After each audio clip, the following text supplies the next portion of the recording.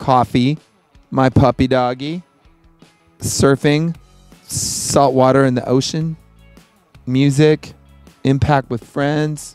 I've been chasing girls since I was about five, so yeah. Damn. All of it. Yeah. I'm happy with all of it. I'd like to keep it all forever. All of it. Antecedent of it being, you know, all of this. My goal is to just keep doing what I'm doing. Unless I run for president.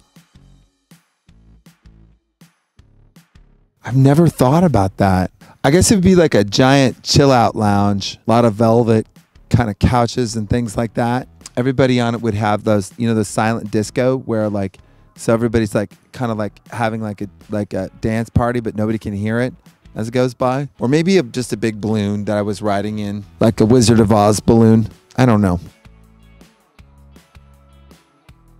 Somewhere but a tie between my health and my family. I think Equator is currently making the best coffee, but Four Barrels right there. Depends on the mood you're in. Like if you're feeling kind of butch and you want to like go hang out in front of Four Barrel with your pit bull, then it's definitely Four Barrel. If you've got sort of that smoothed out kind of feeling, then Equator. Like post surfing, pre surfing coffees, it's it's Equator. Obviously, 45. Traitorous bastard. I could be doing something else, oh, interesting question.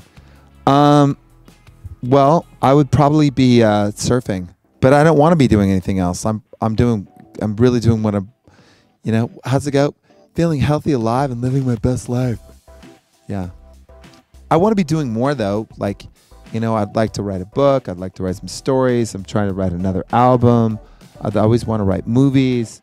I always want to do more in politics. I always want to do more uh, to um, help ocean conservation and climate change.